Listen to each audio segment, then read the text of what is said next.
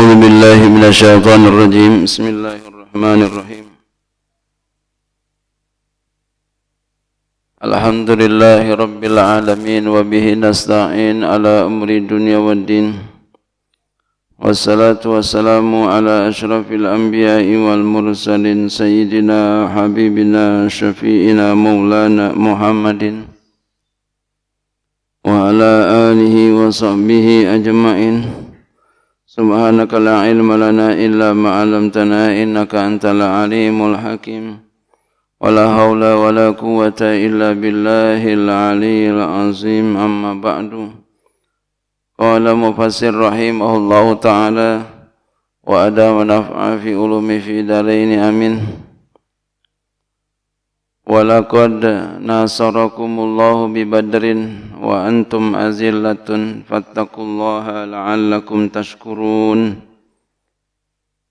إذ تقول للمؤمنين ألن يكفيكم أن يمدكم ربكم بثلاثة آلاف من الملائكة منزلين. بلى tasbiru wa tattaku wa ya'tuna min fawrihim. Hadza yumdidkum rabbukum bi khamsati alafin minal malaikati musawwimin. Walaqad nasarakumullah bi badrin. Sungguh benar-benar Allah telah menolong kamu di waktu perang Badar ini kan perang Uhud nih. Sungguh Allah telah menolong kamu di waktu perang Badar. Maudiin baina Makkah wal Madinati. Itu adalah tempat Badar itu tempat di antara Mekah dan Madinah. Wa antum azillatun dan kamu itu dan keadaan kamu itu lemah.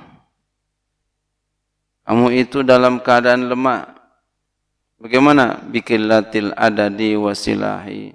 Dengan sedikit jumlah dan senjata. Ya, bersenjata orang-orangnya sedikit, senjatanya sedikit lemah. Senjata sedikit, orangnya sedikit lemah. Maka kalau begitu fattakullaha la'allakum tashkurun. Takwalah kamu kepada Allah. La'allakum tashkurun. Mudah-mudahan kamu tashkurun menjadi orang-orang yang bersyukur. Jadi orang-orang yang bersyukur tuh orang-orang yang takwa sama Allah. Jadi kalau dia ngaku bersyukur tapi enggak takwa, enggak sembahyang, ya enggak bukan orang yang bersyukur. saya udah bersyukur, saya udah bersyukur. Tapi itu orang kagak sembahyang. bukan orang yang syukur. Jadi orang yang bersyukur kepada Allah, orang yang takwa.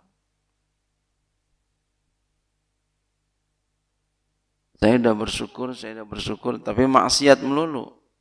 Bukan orang yang bersyukur. Orang yang bersyukur, orang yang pandai berterima kasih, yang patuh kepada Allah. Tashkuruna ni'amahu. Kamu bersyukur akan segala nikmat-nikmat Allah Subhanahu wa taala. Jadi kata Allah, Sungguh benar-benar Allah telah menolong kamu di waktu perang Badar. Ini kan perang Uhud nih ya. Berarti duluan perang Badar gitu ya. Sama perang Uhud. Sungguh benar-benar Allah telah menolong kamu di waktu perang Badar. Dan kamu dalam keadaan lemah. Sedikit senjata, orangnya sedikit Allah tolongin tuh. Maka dalam keadaan seperti ini fattakullah eh, takwalah kamu kepada Allah la'allakum tashkurun. Mudah-mudahan kamu menjadi orang-orang yang bersyukur. Sama dalam seperti kita nih sekarang ini lagi musim corona, musim corona. Maka takwalah kita kepada Allah. Ya. Takwalah kita kepada Allah dengan semuanya. Patuh kepada pemerintah sepanjang perintahnya tidak bertentangan dengan agama itu di antara ranah daripada takwa. Karena patuh kepada pemerintah itu juga termasuk patuh kepada Allah. Ati Allah wa ati Rasul wa ulil amri minkum. Maka ketika kita patuh kepada Allah Subhanahu wa taala, takwa kita kepada Allah Subhanahu wa taala, maka termasuk orang yang bersyukur. Ketika kita pandai bersyukur kepada Allah, Allah lebih Allah adalah ya Tuhan yang maha bersyukur. Artinya apa? Allah Tuhan yang maha membalas. Allah balas syukur kita. Tadinya susah, jadi ya, mudah. Miskin bisa kaya lemah bisa kuat. Jadi orang-orang yang takwa kepada Allah itu bisa kuat, bisa kaya, bisa senang, bisa menang. Orang-orang yang takwa kepada Allah.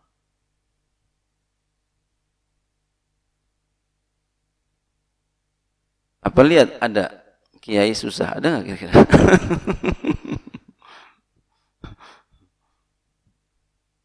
Pernah lihat nggak kita ini orang Jakarta ada nggak kira-kira kiai? Tapi yang dipanggil kiai ya. Oh, kata guru saya kalau masih ustadz belum. kalau udah kiai, udah jadi kiai tenang, senang. Kenapa? Takwa. Takwa. Walaupun orang berlebih kurang takwanya, ada yang tinggi, ada yang sedang, ada yang rendah gitu.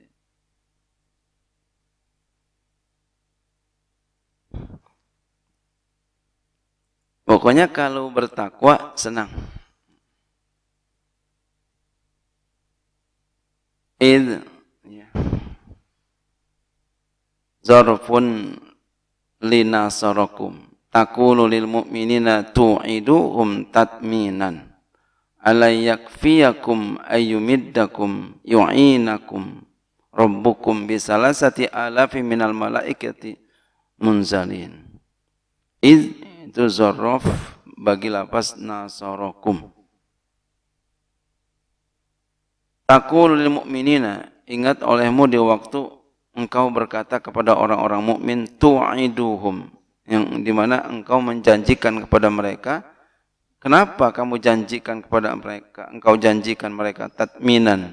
Karena ya, untuk menenangkan, supaya tenang, agar tenang. Ya. Allah yakfiakum. Apakah tidak cukup kepadamu? Ini, ini untuk tenangin, supaya tenang, tenang, tenang. Waktu perang Uhud nih. Tenang, tenang, tenang alayakfiyakum apakah tidak cukup? Ayumiddakum yu'inakum rabbukum. Bahwa Tuhanmu menolongmu dengan tiga ribu. Bisalasati alafin dengan tiga ribu. Minal malaikati munzalin daripada para malaikat yang diturunkan. Jadi orang-orang mukmin itu ditolong oleh Allah perang tiga ribu diturunin malaikat. Jadi kalau begitu bisa aja ya, bantuan Allah kirimin berupa malaikat.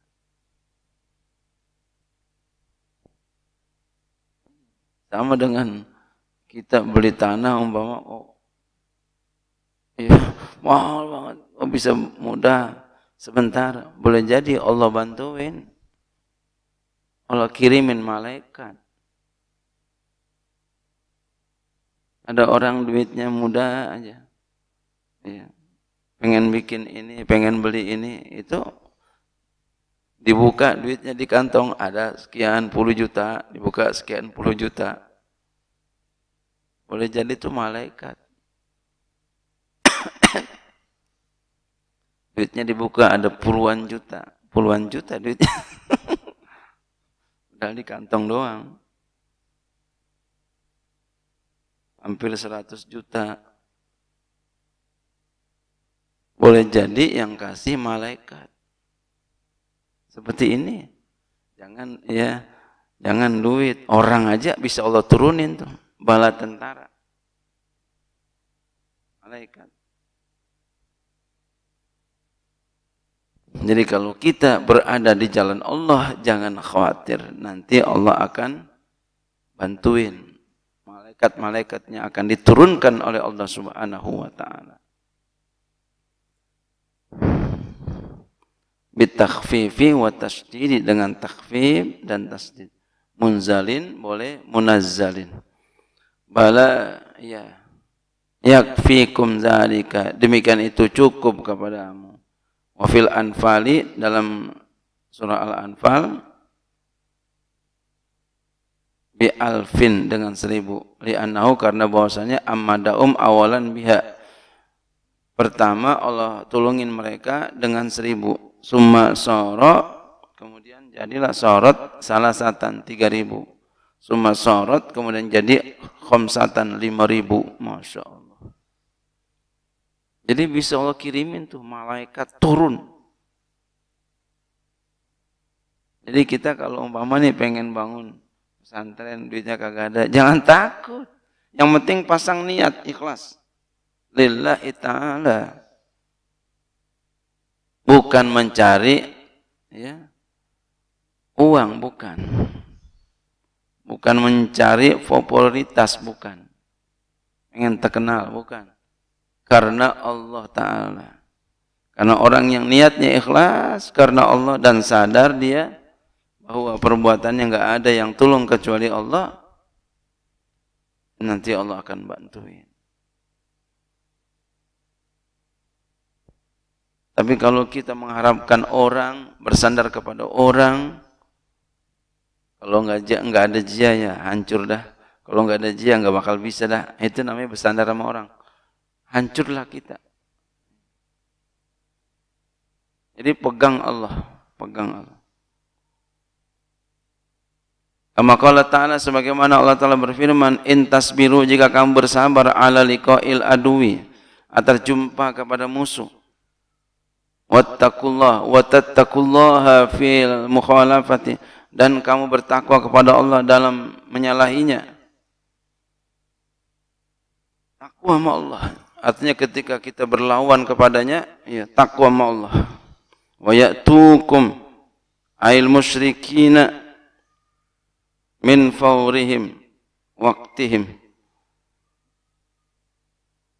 Mereka datang kepadamu artinya orang-orang musyrik min faurihim dengan tiba-tiba dari segera mereka maksudnya dengan tiba-tiba waktu pada waktunya mereka itu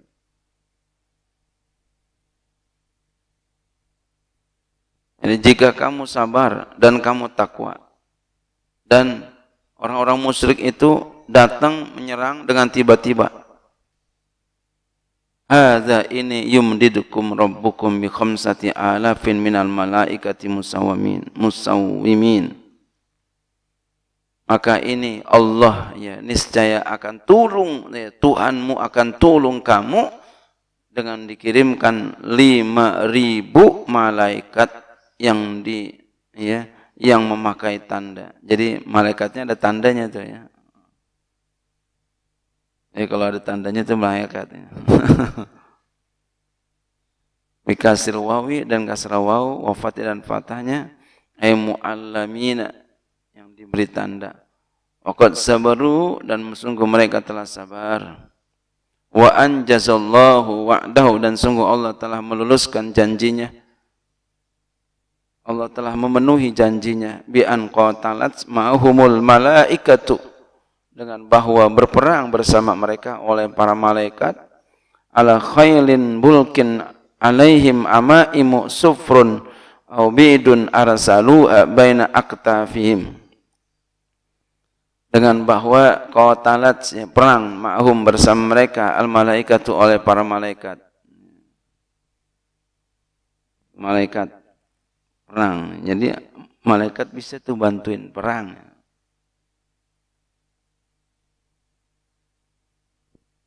ini bukan saya katakan lagi bukan hanya ya bukan hanya lagi berperang ini aja ya. Tadi saya katakan apa? Walaupun seperti kita bangun pesantren, bangun masjid, ya, bangun musola, niat kita nilai taala, itu kan sama juga tuh berjuang juga. Ya. Bangun pendidikan, niat kita nggak ada yang lain adalah untuk menolong Allah. Menolong Allah. Maka nanti Allah akan tolongin kita. Allah bisa jadi Allah akan kirimkan malaikat-malaikatnya. Bukan saya mengatakan mudah-mudahan Allah kirimkan malaikatnya. Malaikat. Bawain duitnya.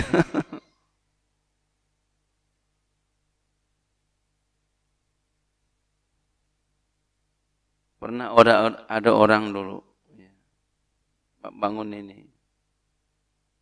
Orang punya emas puluhan gram. Dia kasih semua kasih kepada saya. Dia kasih dia bilang ini buat Pak Kiai katanya enggak ini Pak Kiai apain aja boleh buat pribadi boleh buat bangun juga boleh apa boleh buat apa? Enggak apa-apa. Penting saya udah berikan. Ya.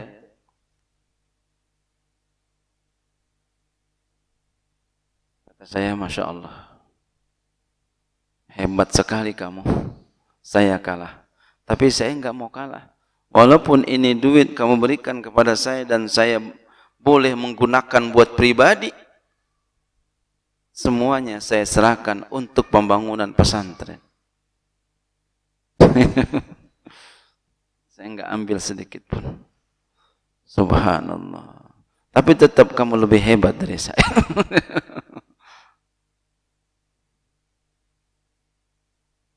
Itu ada orang kayak begitu. Sekarang nggak ketemu-ketemu lagi orangnya.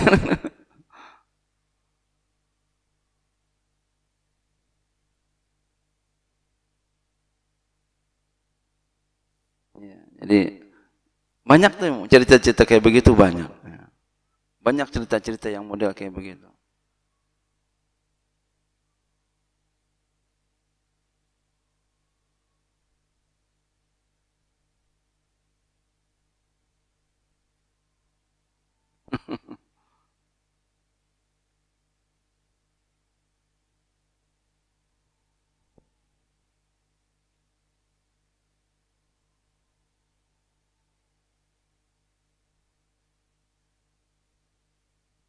Dan orang juga bisa datang ke rumah kita berupa malaikat. Orang bisa juga datang ke rumah kita berupa malaikat.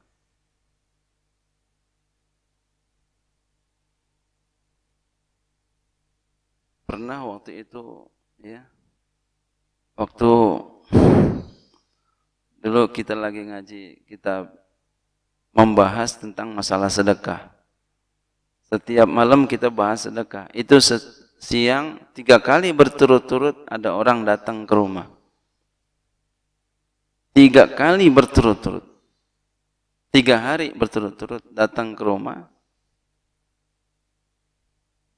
Minta duit. Ini kan aneh. Jadi kita habis ngajar sedekah, tentang sedekah, siang-siangnya itu malam kita ngajar sedekah bilangin sedekah siang-siangnya datang orang ya, tiga kali berturut-turut minta sedekah. Kok bisa berturut-turut? Dan mintanya nggak sedikit banyak. Bukan minta minta pak dua ribu tiga ribu bukan. Pokoknya sesuatu yang banyak. Nah itu diuji kita semalam habis bilangin orang. siangnya dikirimin oleh Allah makhluk. Itu kan makhluk Allah juga. Boleh jadi malaikat Allah kirimin. Memang nggak pernah ketemu itu orang nggak pernah ketemu lagi. Tidak pernah ketemu lagi.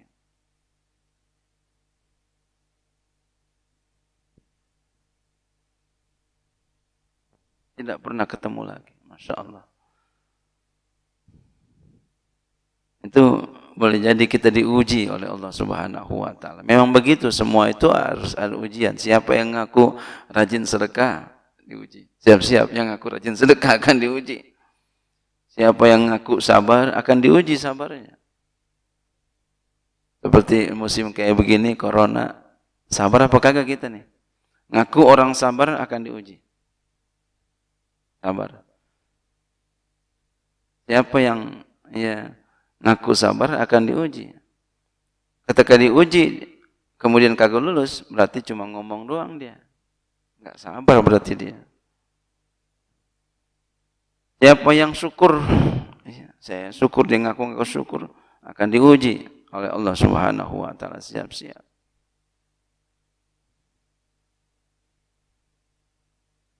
Ya orang-orang yang selalu bersyukur kepada Allah Subhanahu wa taala, selalu takwa dan ke kepada Allah Subhanahu wa taala dalam kondisi apa pun, walaupun seperti ini dia tetap ibadahnya tidak tergoyahkan. Walaupun di rumah tetap hebat ibadahnya. Kenapa? Karena hatinya bersih kepada Allah. Enggak ada yang lain. Dia ibadah bukan karena manusia, dia ibadah bukan karena pujian, dia ibadah bukan karena pangkat. Dia ibadah bukan karena jabatan. Dia ibadah bukan karena uang, dia ibadah karena Allah. Jadi dalam kondisi apa pun dia tetap ibadah. Enggak masalah keadaan. Karena dia sadar. Tidak ada yang berbuat semua kecuali Allah. Keadaan corona seperti ini, ini yang buat Allah hakikatnya. Atas izin Allah semua. Dan yang paling hebatnya nanti yang menentukan kita setelah masa ini. Kira-kira setelah masa ini apa yang kita bisa lakukan? Apakah kita menjadi takwa apa enggak? Apakah kita jadi lupa apa enggak?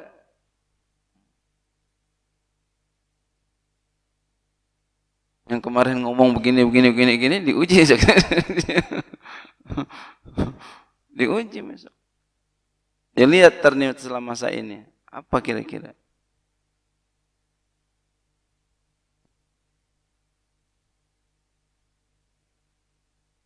Boleh jadi masjid ditutup. Kemarin males ke masjidnya. tutup. Musola ditutup sementara. Kemarin males masjid ke musolanya. Pengajian ditutup sementara. Kemarin males. Makanya jangan buka dulu, ikutin kata pemerintah, tutup dulu sementara. Biar apa? Ya, di samping itu biar ngangenin juga gitu. ya, memang keadaan seperti ini. Biar apa? Biar jadi ujian. Tenang aja, biar jadi ujian. Sekali-sekali memang kita dihadapkan seperti ini. Dan Allah, biarkan Allah pengen melihat siapa hamba-hambanya sesungguhnya di antara kita yang setelah diberikan pelajaran dia dapat pelajaran. Siapa kira-kira? Setelah diberikan ujian dia bisa mengambil hikmahnya. Siapa? Ya.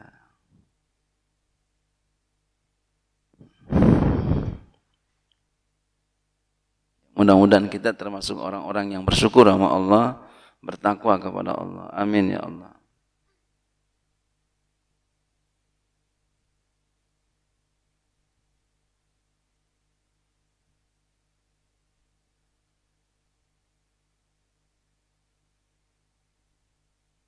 Bikasril wawi dengan kasar waw.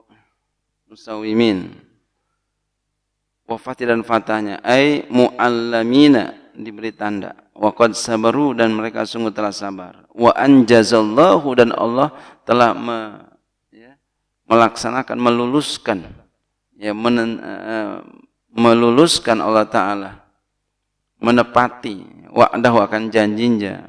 Apa tuh? Bi an qatalat ma'humul malaikatu dengan bahwa berperang bersama mereka oleh malaikat ala khailin bulkin alaihim ya malaikat yang berada di atas kuda yang belang atas mereka. Jadi muka mukanya dan tangan-tangannya dan kaki-kakinya warnanya putih. Muka, kaki, tangan putih. Yang lainnya bukan putih, berarti belang lah gitu ya. Kan cakep tuh.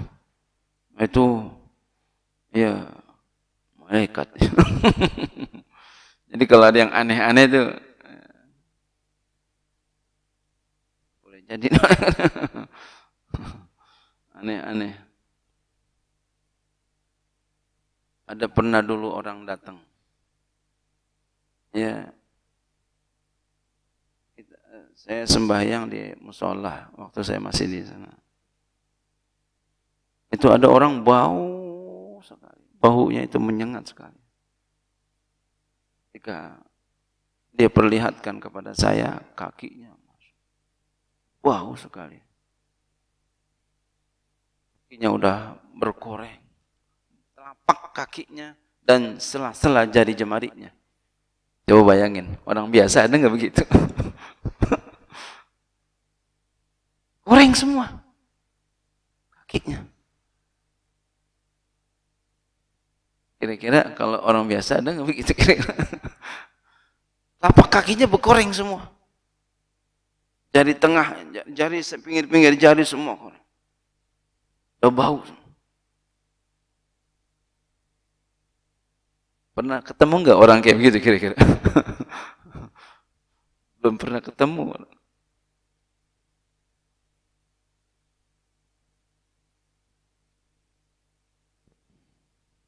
Itu ujian buat kita.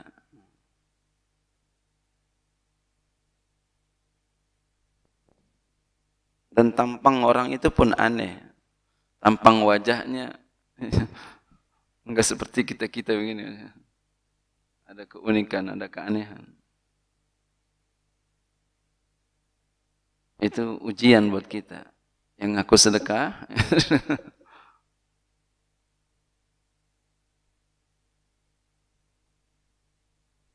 au ala alaihim amaimu sufrun. Atas mereka ada imamah yang berwarna kuning. Jadi pakai imamah tuh. Jadi pakai kuda. Kudanya mukanya putih ya. Muka mukanya putih kaki depannya putih ujung kaki depannya kaki depannya putih kaki belakangnya putih mukanya putih pakai sorban warna kuning. Masya Allah. Au bidun atau putih. Jadi ada yang kuning atau putih. Arsaluha baina aktafihim. Mereka lepaskan itu sorbannya di antara kedua pundak ya bahunya. Berarti begini